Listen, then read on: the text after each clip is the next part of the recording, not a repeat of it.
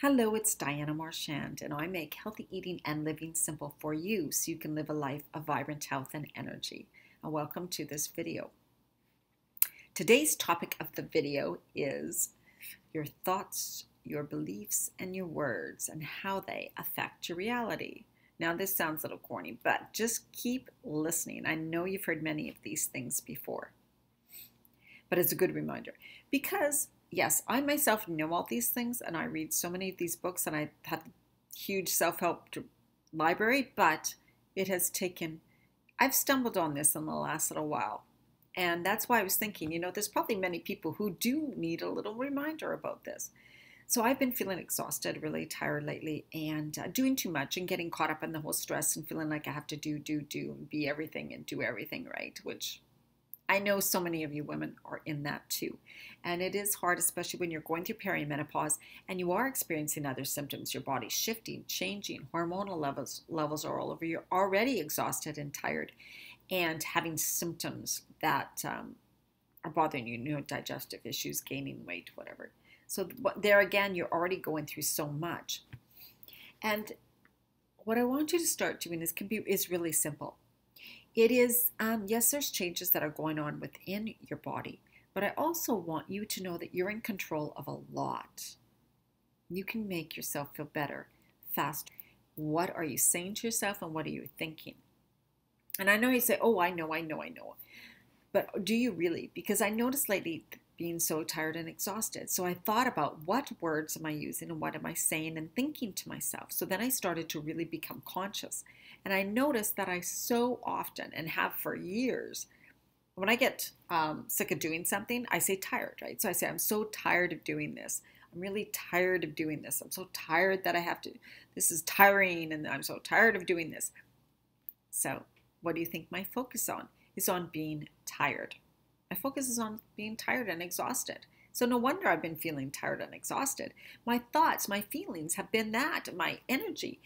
And so it's been I've been saying those things consistently to myself over and over again, and it's actually made me feel that way, right? It's so powerful. And in here, I know I am somebody who tells women not to do this. So it is easy to get caught up in it again. So I, this video is really to, to remind you, like I need reminding, obviously, very often, that we need to watch our words and we need to watch our thoughts. So another area too is in um, is in your body image in your body. Often, when we, like, I started gaining weight in perimenopause, I'm over it now, but I started gaining weight. And so, what I consistently remember saying to myself at that time was, wow, I feel so fat and bloated. I wasn't that bad, obviously, but it doesn't matter. If you feel that way, your sense of yourself is that way, then that's your reality, no matter what size you are.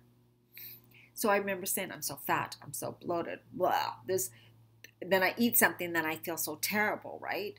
So focusing all of that on all of those things. So I want you to become conscious. What do you say about yourself and your body?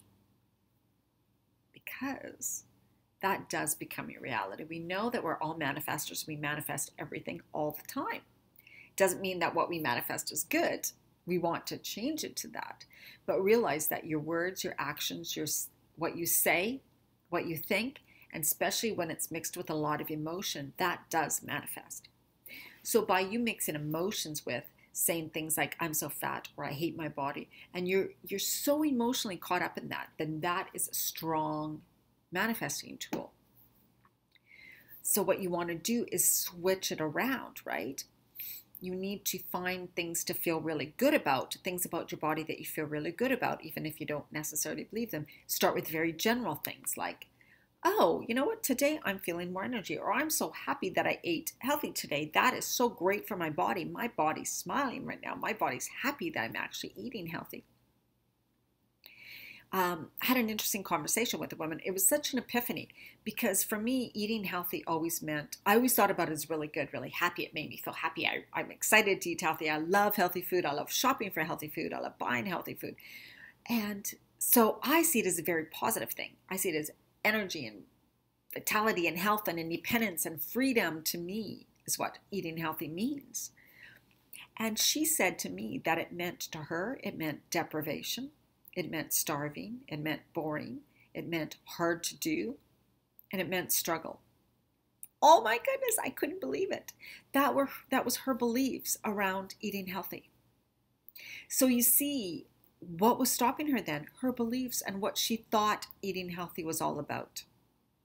So you have two people using the same two words, eating healthy, and it means completely different things to those two people. That's why I have an easier time eating healthy because I see it as a really good positive, exciting, fabulous thing that contributes to my life, my freedom, my happiness, my independence.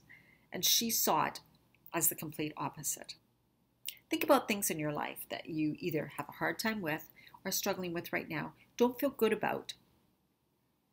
And just become more conscious about the words you use, the thoughts you think, the feelings you are putting into that, and your real beliefs about that and see why. I mean, you're going to notice right away as soon as you start to do that. Oh my goodness, that's why this is the way it is. It's because I continually say the same things, I think the same thoughts, and I have those beliefs about this, whatever it is for you. So that's my message today, very powerful one.